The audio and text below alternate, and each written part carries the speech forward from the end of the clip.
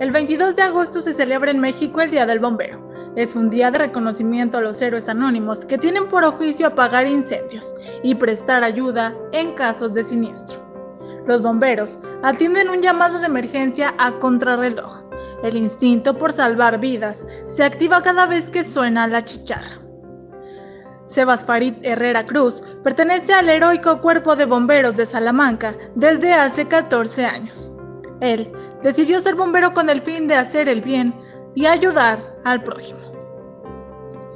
Este, decidí incluirme aquí al cuerpo de bomberos voluntarios este, para poder apoyar a la ciudadanía, sí, ya que es muy placentero el ver, el apoyar y ayudar a la gente y sobre todo quedarte con un gracias por parte de la ciudadanía.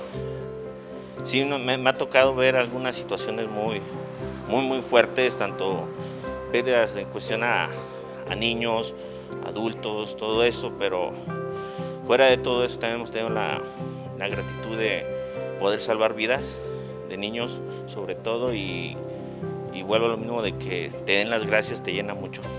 No sabemos qué tipo de emergencia puede existir durante el día y qué nos prepara en la emergencia cuando nos hablan. ¿sí? Llegamos, checamos en unidades, checamos nuestro equipo, que todo esté en óptimas condiciones para poderle darle el uso que debe de ser.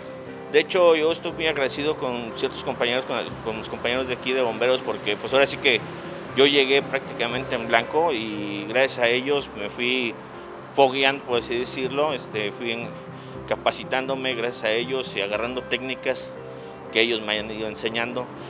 Tengo una niña de 17 y un niño de 12, los cuales pues están orgullosos de mí, de fuera de fuera de como bombero, también como padre, sí, este, pero ellos están, están a gusto, por así decirlo, de que yo esté aquí en el cuerpo de bomberos ayudando gente. ¿Qué crees que eso de los nervios, la adrenalina, uno nunca deja de sentirla? Este, sobre todo de que sales a un servicio es algo que es muy cambiante, ¿sí? te pueden decir un incendio de de casa y resulta que se, se extiende o hay, o hay tanques de gas involucrados, en lo cual no podemos saber determinar hasta estar en el lugar de que bien bien de qué se trata la situación. Me gusta ser bombero, me gusta apoyarme con los compañeros, me gusta apoyar a los chavos y ayudar a la ciudadanía. Con imágenes de Ricardo Milantoni, reportó para Mega Noticias, Corina García Vidal.